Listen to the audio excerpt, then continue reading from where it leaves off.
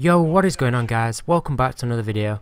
In today's video, I'm going to show you guys the easiest way to get your hands on those beautiful diamond assault rifles. But before I jump down that rabbit hole, I'd just like to remind you guys to leave a like if you enjoy the video, subscribe if you're new around here, and if you're already a subscriber, be sure to enable notifications to know exactly when I post my next video. And be sure to check the description also for a link to my 500 subscriber giveaway. Now onto the actual video itself. Now I know I'm a bit late to the party and there are already numerous videos out there on YouTube showing you how to get the diamond camos fast, but I thought I'd share my video anyway. There are three main areas that I'm going to discuss and I'm going to try and give you guys as much detail without waffling and wasting your time. So the three main areas are as followed. Class setups, specialist ability and payload, and the game type. Firstly, we're going to cover the class setups and I've come up with two separate classes. One for achieving the headshots and another for the rest of the challenges, other than the Bengal camo. Now the first class setup that I'm going to show you is the standard class and it should be on your screen now. The four main attachments that I advise you to rock with would be Elo sight with a reticle that you're comfortable with, quick draw, this is pretty mandatory. It gives you a distinct advantage over those who don't have quick draw and basically allows you to aim in faster. Foregrip, just to reduce recoil and make those long range gunfights easier, and finally, stock. It allows you to strafe in and out of cover and around corners, it just makes it harder for someone to shoot you. Next we have the perks. These are going to stay the same for both the headshot class and the standard class. You have Ghost and Blind Eye in the perk 1 slot, Ghost to prevent you from being spotted by an enemy UAV, this allows you to stay stealth so you can get behind enemy lines. Blind Eye just to protect you from being killed by those AI targeting streaks such as the Warden and the Sentry Gun. We're not going to have a perk 2 and Dead Silence is in the perk 3 slot. Dead Silence also helps you to stay stealthy and prevents people from soundhoring you as a lot of people use good headsets such as the Turtle Beaches or the Astros these days. Onto the headshot weapon class and the four main attachments that I would advise you use are Elo sight, I would also advise that you use the default reticle or one that has a distinctive dot just to make aiming for the head easier. Quick draw and stock, same as the standard class, both extremely useful attachments. Finally, hollow point slash Faraday slug. This attachment increases weapon lethality to the head so makes getting headshots a lot easier. Hollow Point is for the standard bullet weapons and the Faraday Slug is for the energy weapons. The perks are the same as the standard class, Ghost and Blind Eye in the perk 1 slot, no perk 2 and Dead Silence in the perk 3 slot. Now that I've talked about the class setup you should use, I'm going to advise you guys to use a specialist with a non-lethal payload, and my pick will be the Synaptic specialist with the rewind payload and the propulsion ability. I would advise this specialist combo just because the propulsion allows you to jump around the map quicker and the rewind will re-heal you, refill your ammo and you get this specialist pretty regularly. Now onto the game type, for the first 4 camos which are Desert, Mars, Arctic Tech and Wilderness, you only need to amass 200 kills with that weapon so I'd advise Domination or Hardpoint, a game type where the games last longer giving you a greater opportunity to rack up more kills. These challenges shouldn't take you more than 4 to 6 games maximum depending on your style of play, maybe even less than that. Now for the rest of the camos, I would definitely recommend that you play some form of hardcore, but not free for all, one that has an objective and I would recommend hardcore domination. This just makes getting the 160 headshots a lot easier, especially if you're using the hollow point slash Faraday slug attachment, every headshot kill is basically one bullet for each of the assault rifles. I recommend Domination just because people will be focusing on the objective so you can conjure up some nasty flanks and shoot the opposite team in the back of the head, a free headshots. Now the final set of camos, assuming that you're doing these challenges in hardcore, I'm going to run through one by one and offer you guys some tips to make them easier. Also, I wouldn't wait until you finish the headshot camos to start this section. After you've unlocked one of the headshot camos, you can start to do some of these camos. So to start Autumn, you need to have gotten the Mojave camo. To start Whiteout, you need to have gotten the Snakeskin camo. To start Bengal, you need to have gotten the Salamander camo. To start Murdered Out, you need to have gotten the Splatter camo. And finally, to start the Neon Tiger camo, you need to have gotten the Zebra camo. To unlock the Autumn camo, you need 25 long shots, so you need to try and find the longest line of sight on each map and basically just camp there and rack up the kills. To unlock the Whiteout camo, you need 50 kills whilst aiming down sights using an optical. If you're using my suggested class setup, then this should come in no time and I wouldn't worry about concentrating on this camo. You'll just unlock it whilst trying to unlock the other camos. To unlock Bengal camo you need 50 kills without any attachments, pretty straightforward so I'm not going to go over that. To unlock the murdered out camo you need 20 double kills, like the whiteout camo this will come over time, you just need to kill 2 people 20 times within a short space of time.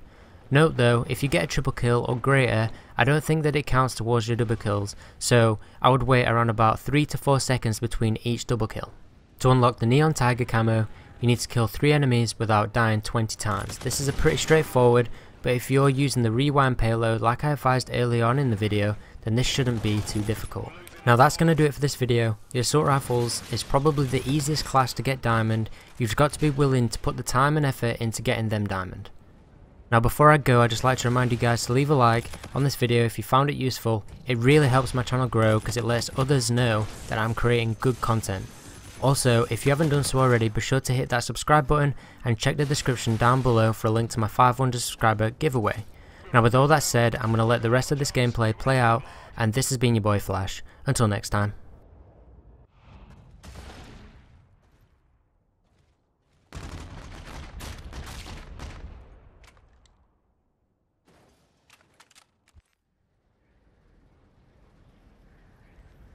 Domination. Go. Capture the objectives. Securing Charlie. Secure. SDF as A.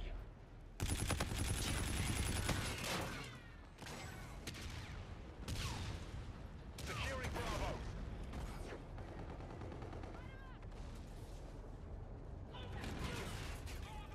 Securing Bravo.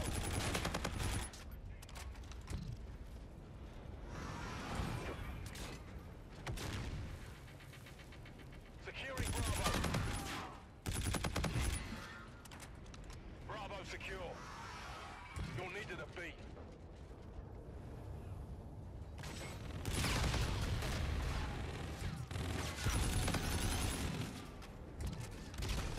UAV ready. Threats detected near your position. You're needed at Charlie. You're needed at C. You're needed at Charlie. Set def at Assist your team at B.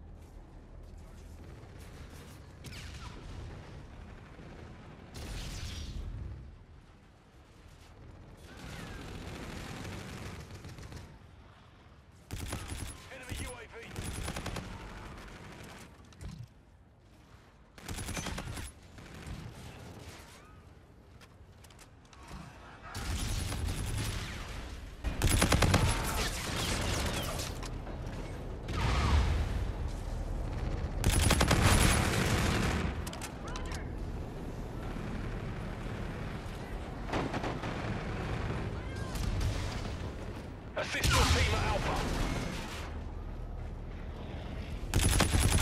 Your warden's on standby. SDF has Alpha. Coordinates received. Enemy movement is hot. Triangulating. The enemy has a drone package. C secure. Engaging targets. Securing A.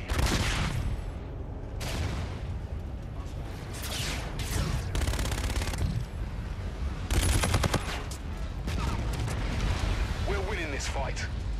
Enemy eyes on target. Danger close. Enemy Trinity rocket in use.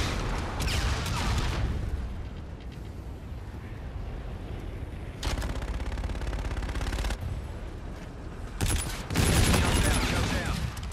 Assist your team at B.